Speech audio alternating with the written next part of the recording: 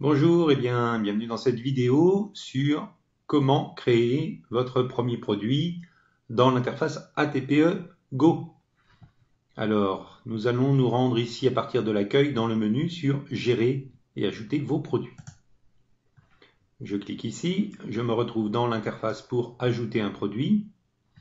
Alors premièrement, il faut savoir que lorsque vous voulez une information, il vous suffit de passer votre souris sur les petits i bleus dans un rond grisé et vous avez une fenêtre qui apparaît qui vous donne de l'aide sur les différentes fonctions que vous allez rencontrer dans cette interface. Donc pour enregistrer un premier produit, eh bien on va donner un nom et une description à ce produit. Alors on va mettre par exemple formation, alors là j'ai des titres que j'avais déjà indiqués qui apparaissent, voilà, formation au marketing viral, description de mon produit une, j'ai déjà, ça va aller plus vite, des titres qui apparaissent, une formation en 5 vidéos, 3 audios sur le marketing viral. J'efface le reste. Voilà. Vous cliquez ensuite sur ce gros bouton bleu Ajouter ce nouveau produit. Et voilà, vous arrivez sur la page suivante de gestion de votre produit. Alors si on retourne ici dans Gérer et ajouter vos produits, eh bien vous voyez que ce produit a été ajouté ici en bas et tous les produits que vous allez ajouter dans votre interface eh apparaîtront ici en bas les uns en dessous des autres. Alors pour retourner dans l'interface de gestion de ce produit, eh bien on clique ici sur ce bouton vert, gérer ce produit et son contenu. Donc ici, nous retrouvons eh bien, le titre que nous avons indiqué, formation marketing viral, et ici une formation en 5 vidéos, 3 audios sur le marketing viral. Alors ici vous avez une petite liste déroulante avec des options supplémentaires. Si vous cliquez ici sur modifier ce produit, eh bien bien sûr vous pouvez modifier le titre et la description que vous avez indiqué précédemment. Mais surtout vous pouvez ajouter à ce produit une image d'illustration qui va embellir l'espace membre de vos clients. Alors, on clique ici sur sélectionner une image. J'ai une fenêtre qui s'ouvre sur mon PC qui me permet de choisir une image sur mon PC. Donc, je vais choisir ici logo 1 TPE. Je fais ensuite télécharger cette image. Et voilà, votre image a bien été ajoutée. Cliquez sur voir accès client ci-dessous pour la voir en action. Donc cette image, ce logo 1 TPE a été ajouté dans euh, mon interface pour ce produit que nous venons de créer.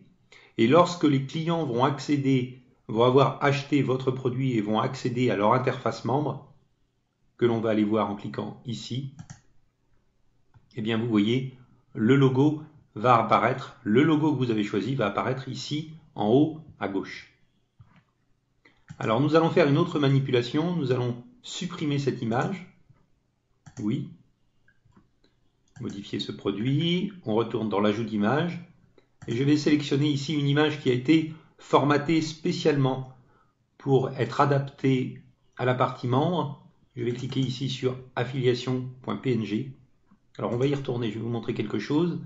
Si je laisse ma souris sur affiliation, ici euh, affiliation.png, eh bien vous voyez qu'on a la taille de l'élément. Donc ici, la dimension de, ce, de cette image est de 1000 pixels de large sur 148 pixels de haut. Vous allez comprendre pourquoi ces dimensions sont importantes, surtout les 1000 pixels de large. Donc je choisis cette image, je fais ouvrir, je fais télécharger cette image. Voilà, ça m'indique que votre image a bien été ajoutée. Ici, vous voyez la miniature de mon image qui apparaît ici. Et si je retourne dans l'accès pour les clients, eh bien vous voyez que mon image eh bien maintenant est un bandeau sur toute la largeur de l'interface pour mes clients. Donc là, ça, donne un aspect vraiment professionnel à l'interface client. Et donc, il est important, vous voyez que là, il est important d'avoir les bonnes dimensions pour votre image si vous voulez faire un bandeau de, de ce type, et que la dimension Ici, maximum de votre image doit être de 1000 pixels de large. Après, vous pouvez choisir la hauteur que vous voulez, bien sûr pas trop grande, ni trop petite, mais mettez Voilà un bandeau comme celui-ci qui doit faire à peu près 50 de haut, 150 de haut, 150 pixels de haut sur 1000 de large. Et vous avez un bandeau qui sera parfaitement adapté à l'interface membre de vos clients. Voilà pour l'ajout d'un produit dans votre interface.